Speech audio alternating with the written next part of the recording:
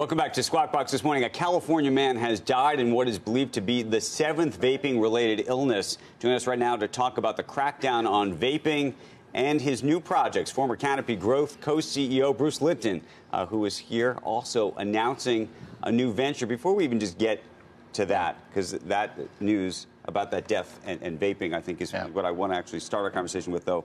I want to talk about what's on your shirt. Well, so- because most people come in here in a suit and tie. Yeah. They were they're respectful. Yeah, yeah, no, But I'm. this is a whole other situation. a, listen. I'm I'm probably never getting invited back. You know, I'm boring and I dress poorly. What the heck are you guys having me here for? Um, What are you doing? so I, I spent the summer, as I told you last time, I went around and found a bunch. Yeah. That I want to be involved in. So these are the companies I either invested in or I'm advising. And the one with the the, the arts and crafts show that I did this morning was the was um, I wish to be involved with one multi-state operator. They're called an MSO. Yeah. And for a bunch of reasons, the regulations, et cetera, didn't conclude the one that's under here. And so that leaves the door open because now I'm trying to figure out which one will I be involved with. So that's why I had to cover the name, but I thought, why not actually turn it into a billboard? I'm in New York. So you are a billboard. I am. You're- I'm, you're in, I'm a Square. And, and listen, it's working. Billboard. Yes, it's working. So It's uh, working. Um, we'll, we'll try, I, what's our rate for billboards? It's probably And high. We'll Yeah. talk about it. Yeah. Um, let's talk about vaping though, because we are seeing these Yeah. deaths. What is really happening here? Was uh, I, I think there's two or three things happening on top of each other, right? You're starting to see the products that people are vaping maybe not being what they thought they were. So Right. where do they come from? And so my worry is when regulators say we're going to try and stop vaping, what really is going to happen is more of those products that don't come from a regulated source will get in the market.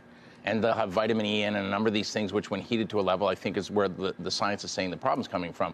So I would say cracking down is probably the wrong word. Educating, like inhaling stuff into your lungs overall, isn't the smartest idea. To begin It- with. right? But and that's so- the business you're in. well, no. So the, where I put my biggest bets was beverages. Okay. Because my view was that it's socially normal. The track that it takes is a much less easily damaged track. Right. You can probably eat things that are pretty off uh, the, the So rails. can you get on our bandwagon? I'm not sure any of us actually think that vaping is such a great idea at all. I, I think that vaping could be for medical patients. So if you really said where's the right place to do it, the reason people inhale it and through a vape is it has instant onset.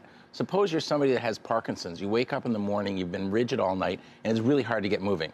That Sure. person should have a medical device, a, and me- it should be a medical device, you Right. get it as a That's prescription. heavily regulated. Right, that's heavily regulated. The but answer- the same thing with uh, with vaping and with any Yeah. of these ingesting it through beverages or anything else. All of it needs to be regulated because when you have people who are trying to Correct. make four thousand dollars worth of pot get spread so they have a bigger profit, Right. they cut it with bad stuff. The more you regulate this area and the less you ignore it, bad for criminals, better for public safety. Hold on, I don't understand. Are you saying it needs to be regulated, or you're saying it needs, less regulation? Uh, Needs more, more, more regulation. More regulation. Right. What you want to have is, for example, what temperature does the problem begin at? So what if you have a vape device that actually heats these things up to a but level you're not going to get that unless you have federal Correct. regulation. And, and you might start where the FDA starts to look at, and I'm sure they have been, they left the barn door open on what can these nicotine vapes do and Right. non-nicotine. But can I ask a question? I imagine that your industry has been the one lobbying for the opposite to take place. Well, no? I, I sure haven't. I, I, I've been a fan of. I, in fact, think that good companies prefer more rules. And the reason is that if they're competent and the rules get built higher, Right. the, the less capable fall further back. What the FDA has done is left the door open, but they've also said the onus is on you as the industry to come up with these studies and bring them back to us because we're going to assume it's not safe unless you can prove that it is. And I, I don't think they're going to rush to get back because what if your evidence doesn't support your business? Right. And so I think that where they're probably going to look at, and I know that, um, for example, when you think about are any of these companies running a health trial, meaning have you sold vape products? Yes. Do you have a registry for adverse effects? Most don't. If you did have a registry, how frequently was it registered and what was the source of the problem? Because it could be anything from a person inhaling and having a cough to an adverse reaction where they have an allergic thing. So, um, what I've been looking for in the companies I get involved with is that they're science driven, regulation strong, and capital markets like that. Bruce, thank you for coming in this morning. Appreciate it. We'll send you the bill for the, for the, for the the- billboard. Always good You- to talk to him, you right? can come back, just come come, back. bearing gifts. You know what I'm saying? Yeah, Bruce, listen, Somebody. you guys, just, uh, you guys, and it won't be no, I'm kidding. It won't no, be no, I'm kidding. Like I'm gummies. kidding. I'm kidding. Morning show I'm not, hard. I'm not so sure about this. The whole. What about Uh, CBD gummies to go to sleep?